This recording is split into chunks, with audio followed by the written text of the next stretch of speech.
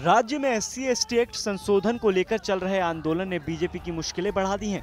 BJP को नवंबर में होने वाले विधानसभा चुनाव में भारी नुकसान का अंदाज़ा अभी से ही होने लगा है यही वजह है कि बीजेपी अभी से डैमेज कंट्रोल करने की कोशिशों में जुट गई है दो दिन पहले बीजेपी के राष्ट्रीय संगठन महामंत्री रामलाल की मौजूदगी में बैठक हुई, जिसमें सवर्ण आंदोलन की आग को रोकने की रणनीति बनाने के लिए एमपी बीजेपी अध्यक्ष राकेश सिंह ने ब्राह्मण और क्षत्रिय मंत्रियों और पदाधिकारियों के साथ अलग बैठे। बैठक में सिंह ने टारगेट दिया कि सवर्ण नेता अपने क्षेत्र में जाकर आंदोलनकारियों से बातचीत कर समन्वय बनाने का काम करें।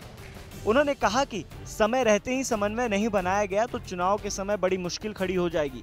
गौरतलब है कि 25 सितंबर को भोपाल में बीजेपी कार्यकर्ता महाकुंभ का आयोजन होने जा रहा है, जिसमें पीएम मोदी भी हिस्सा लेंगे। महाकुंभ में ज़्यादा से ज़्यादा भीड़ जुटाने के लिए रामलाल के साथ राष्ट्रीय महामंत्री अनिल जैन, नारायण पंचारिया और दिल्ली से आए पदाधिकारियों ने महापौरों और जिला सहकारी बैंकों के अध्यक्षों की भी बैठक ली थी।